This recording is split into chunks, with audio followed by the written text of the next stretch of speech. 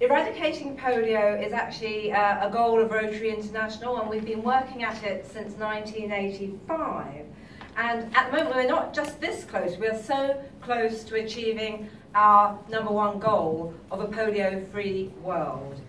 Our campaign to rid the world of polio has been something that Rotarians are determined um, to do and dedicated in, in that goal. I went with Connie, um, out there. And I think Connie, if you Connie is now one of our Purple for Polio ambassadors. That's a campaign we launched this Rotary year.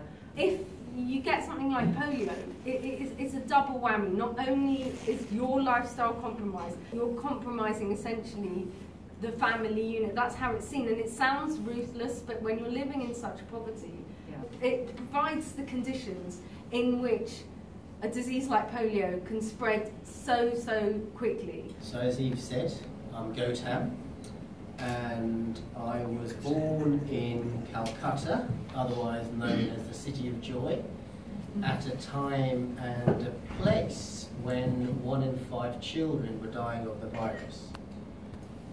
I have survived polio and I was fortunate because of disability, poverty, and then geography, that was what led me to meet Mother Teresa. Because, as Connie said, when disability becomes a burden to a family for various reasons, um, children are either thrown away or left somewhere. If the rest of the world had adopted India's gold standard for polio eradication, arguably we would not be discussing this today. If we don't eradicate it, and if we, if we monitor it, another 200,000 people in the next 10 years could be crippled like me by the virus. India was the stimulus to really get us almost to the end game. Because, as Gordon said, if India can be clear of polio, anywhere can.